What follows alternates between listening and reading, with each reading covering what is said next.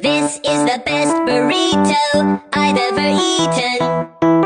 Yum, yum, yum. This is the best burrito I've ever eaten. Yum, yum, yum. With plenty of beans and plenty of cheese.